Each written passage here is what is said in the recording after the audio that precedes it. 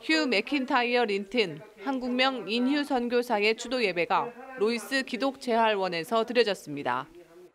순천 성광교회 권익 목사는 고 인휴 선교사의 영혼 구원을 향한 숭고한 신앙 정신을 계승해야 할 것이라며 그의 헌신을 돌아보고 우리 또한 그 귀한 선교 사명을 이어가자고 전했습니다.